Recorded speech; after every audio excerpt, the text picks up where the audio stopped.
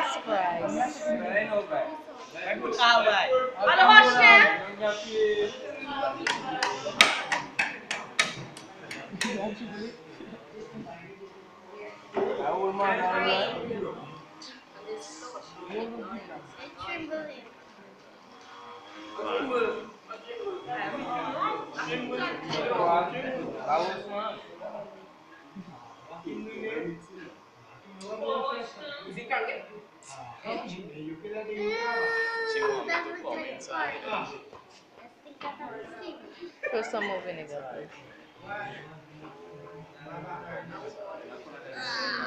Huwag ka na po lalaway dyan.